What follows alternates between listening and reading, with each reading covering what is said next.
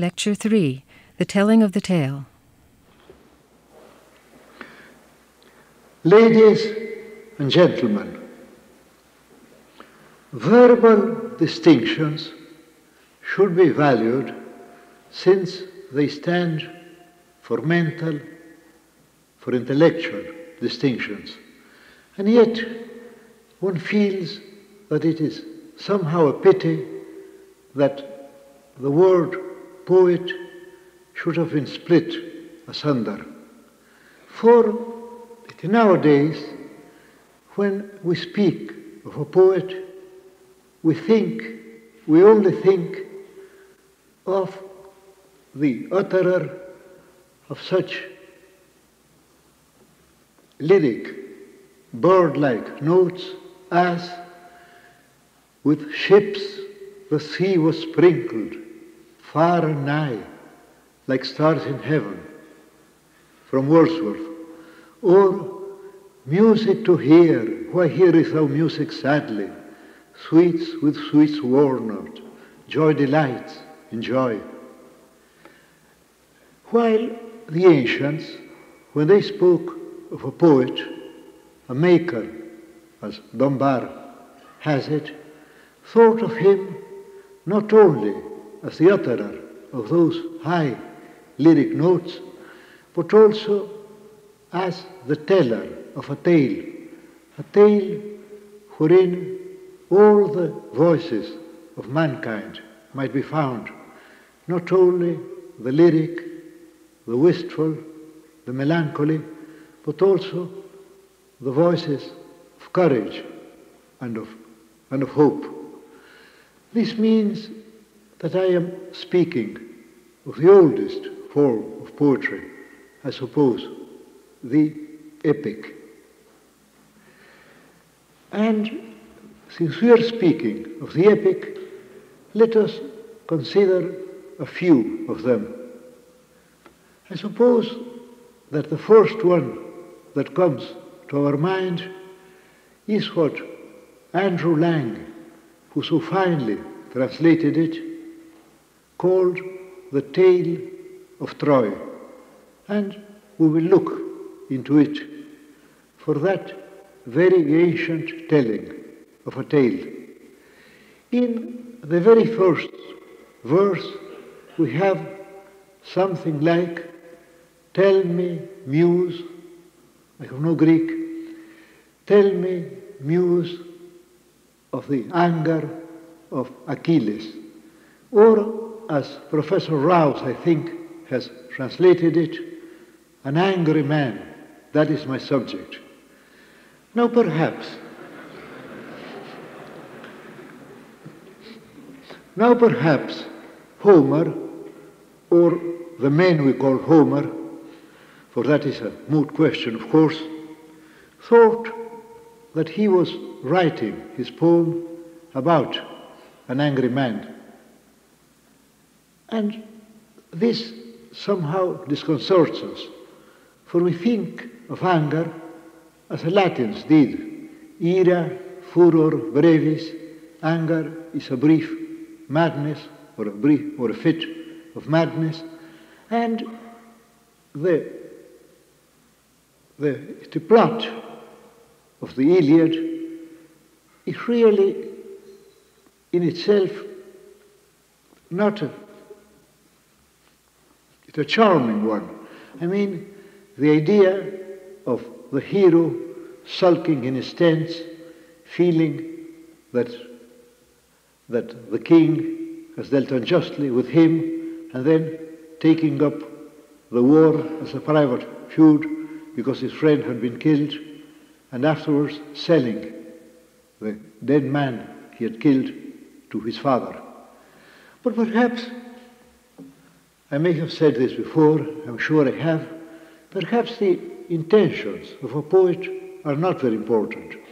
What is important nowadays is that though Homer may have thought he was telling that story, he was telling something far finer than that. The story of a man, the hero who is attacking a city he knows he will never conquer. He knows that he will die before the fall of Troy. And the still more stirring tale of men defending a city whose doom is already known to them, a city that is already in flames. So I think that this is real subject of the Iliad. And it is a fact that men have always felt that the Trojans were the real heroes. We think of Virgil, but we may also think of Snorri Sturluson, who in his younger Edda wrote that Odin, the warden of the Saxons, the god, was the son of Priam and the brother of Hector, so that men have sought kinship with the defeated Trojans and not with the victorious Greeks.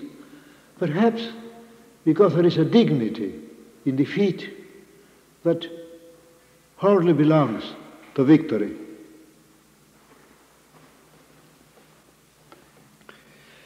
And we have now a second epic, the Odyssey. And the Odyssey may be read in two ways. But I suppose that the man or the woman, Samuel Butler thought so, who had written it, felt that there were really two stories. That is to say, the homecoming of the of Ulysses and the marvels and the perils of the sea. If we take the, the Odyssey in the first sense, then we have that idea of homecoming, the idea that we are in banishment, that our true home is in the past or in heaven or somewhere else, that we are never at home. But of course, the, the seafaring or the homecoming had to be made interesting. And so the many marvels were worked in. And already, when we come to the Arabian Nights, we find that the Arabian version of the Odyssey, the seven voyages of Sinbad, the sailor, are not a story of homecoming, but a story of adventure. And I think that we read it thus. I think that when we read the Odyssey, what we feel is the glamour, the magic of the sea. What we feel is what we find in the seafarer. For example, he has no heart for the harp, nor for the giving of rings, nor for the delight of a woman, nor for the greatness of the world. He thinks only of the long sea salt streams. So that we have both stories into one. We can read it as a homecoming and we can read it as a tale of adventure, perhaps the finest that has ever been written or sung. And we come now to a third, we might call it poem, that looms, I should say, far above them. And I am thinking of the four Gospels. And the Gospels may also be read in two ways. By the believer, they read a strange story of a man, of a God who atones for the sins of mankind. A God who condescends to suffering, to death on the bitter cross, Shakespeare has it. There is a still stranger interpretation. I found that in Langland. The idea that God wanted to know all about human suffering, and that it was not enough for him to know it intellectually, as a God might, but that he wanted to suffer as a man and with the limitations of a man. And if you are an unbeliever, many of us are, then you can read the story in a different way. You can think of a man of genius, of a man who thought that he was God, and who at the end found out that he was merely a man, and that God, his God himself, had forsaken him. And it might be said that for many centuries, those three stories, the tale of Troy, the tale of Ulysses, the tale of Jesus, have been sufficient for mankind. People have been telling and retelling them over and over again. They have been set to music. They have been they have been painted. People have told them many times over, and yet the stories are still there, illimitable. We might think of somebody within a thousand years or ten thousand years writing them over again. But in the case of the Gospels, there is a difference. The story of Christ, I think, cannot be told better. It has been told many times over. And yet, I think that the few verses where we read, for example, of Christ being tempted by, the, by Satan are stronger than the four books of paradise regained. Perhaps one feels that Milton had no inkling of what kind of a man Christ was. Well, we have these stories, and we have the fact that men did not need many stories. I don't suppose Chaucer ever thought of inventing a story. I don't think people were less inventive in those days than they are today. I think that they felt that the new shadings brought into a story, that the fine shadings brought into it were enough. Besides, it made things easier for the poet. His hearers or his readers knew what he was going to say, and so they could take in all the differences. Now, in the epic, as I say, and we might think of the Gospels as a kind of divine epic, all things could be found. But then poetry, as I say, has fallen asunder. Or rather, we have, on the one hand, we have the lyrical poem and the elegy. And then we have the telling of a tale. We have the novel. One is almost tempted to think of the novel as a degeneration of the epic. In spite of such writers as Joseph Conrad, for example, or Herman Melville, where the novel goes back to the dignity of the epic. If we think of the novel and the epic, we are tempted to fall into thinking that the chief difference lies in the difference between verse and prose, in the difference between singing something and stating something. But I think that there is a greater difference. I think the difference lies in the fact that the important thing about the epic is a hero, a man who is a pattern for all men. While, as Mencken pointed out, the the essence of most novels lies in the, in the breaking down of a man, in the degeneration of, of character. Now, this brings us to another question.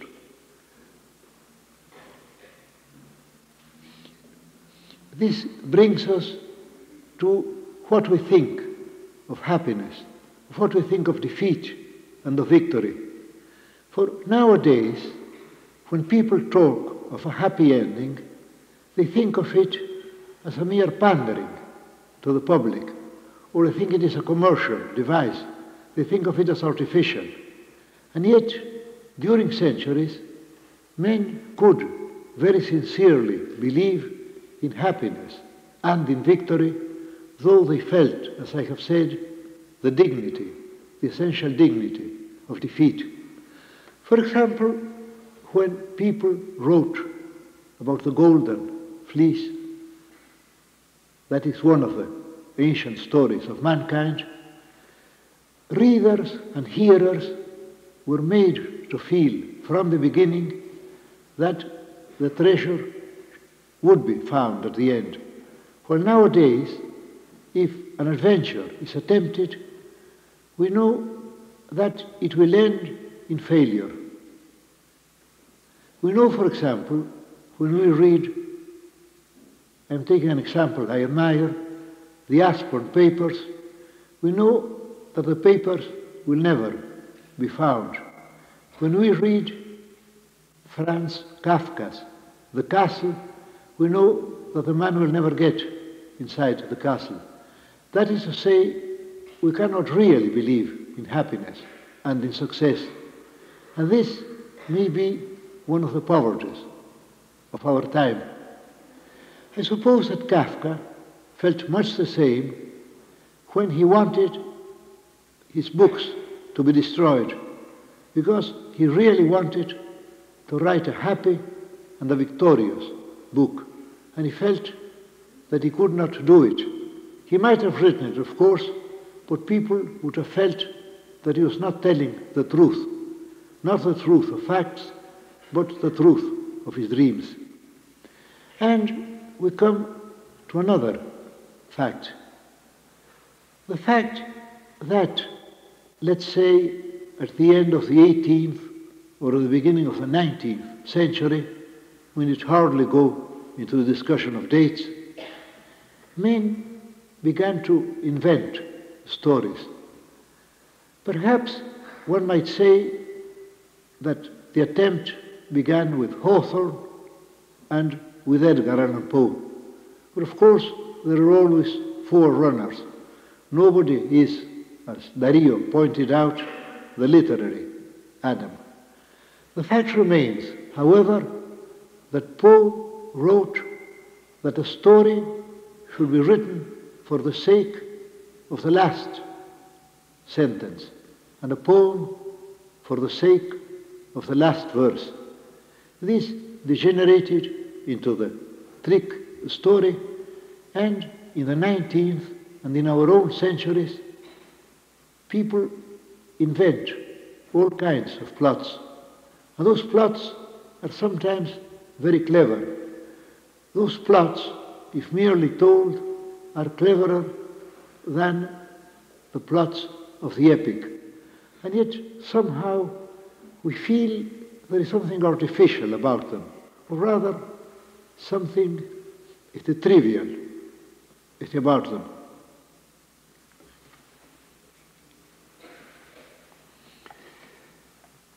If we take two, well, if we take two cases, let us suppose the story of Dr. Jekyll and Mr. Hyde, and then if we take such a novel or a film as Psycho, perhaps the plot of the second is cleverer, but we feel that there is more behind Stevenson's plot. And this idea that I spoke about at the beginning, the idea about there being a few plots, perhaps we should add to those plots, we should add those books where the interest lies not in the plot, but in the shifting, in the changing of many plots. I am thinking of the Arabian Nights, of the Furioso, and so on. We might add also the idea of, of an evil treasure. We get that in the Volsunga saga, perhaps at the end of Beowulf, the idea of a treasure bringing evil to the people who find it. Then we might come to that idea, the same idea I tried to work out in my last lecture on the metaphor. The idea that perhaps all plots belong to some, a few patterns. Of course, nowadays, people are inventing so many plots that we are blinded by them. But perhaps this fit of inventiveness may flicker, and then we may find that those many plots are but appearances of a few essential plots. This, however, is not for me to discuss. Now, there is another fact to be noticed, and it is that poets seem to forget that once the telling of a tale was essential, and that the telling of a tale and the uttering of verse were not thought of as different things. A man told a tale, he sang it, and his readers did not think of him as a man attempting two tasks, but rather attempting one task that had two sides to it, or perhaps they did not feel there were two sides to it. They thought of the whole thing as one essential thing. We come now to our time, and we find this very strange circumstance. We have had two world wars, and somehow no epic has come from them, except perhaps the seven pillars of wisdom. But in the seven pillars of wisdom, and I find many epic qualities there, in the seven pillars, the book is hampered by the fact that the hero is the teller. And so sometimes he has to belittle himself, he has to make himself human, he has to make himself far too believable. In fact, he has to fall into the tricks of the, of the novelist. And there is another book. This must be a quite forgotten book now that I'm speaking of it. I read it, I think, 1915, a novel called Le Feu by Henri Barbusse. Now, Le Feu was written by a pacifist. It was a book written against war, and yet somehow epic, epic, it thrust itself through the book. I remember a very fine bayonet charge. And there is another writer who had the epic sense. I'm thinking of Kipling. We get this in such a wonderful story as a Sahib's War. But in the same way that Kipling never attempted the sonnet because he thought that might estrange him from his readers. He never attempted the epic, though he might have done it. And I'm reminded now of Chesterton. Chesterton wrote the ballad of the White Horse, poem about King Alfred's wars with the Danes. And therein we find very strange metaphors. I wonder how I forgot to quote them last time. For example, marble like solid moonlight, gold like a frozen fire, And there we have marble and gold. And marble and gold are compared to two things that are even more elementary. They're compared to moonlight and to fire. And then not to fire itself, but to a magic frozen. It's fire. But the people, in a way, are hungering and thirsting for epic. Because I feel that epic is one of the things that men need. And of all places, epic has been furnished to the world, and this may come as a kind of anticlimax, but the fact is there by it's a Hollywood. For all over the world, men, when they see a Western, when they are beholding the mythology of the rider and the desert and justice and the sheriff and the shooting and so on, get the epic feeling from it, whether they know it or not. But after all, knowing the thing is not important. Now, I do not want to prophesy, because those things are dangerous, though they may come true in the long run. But I think that if the telling of a tale and if the singing of verse could come together again, then a very important thing might happen. And perhaps this will come, I think, from America. Because, as you all know, America has an ethical sense, a sense of a thing being right or wrong that may be felt in other countries, but I do not think it can be found in such an obvious way as I find it here.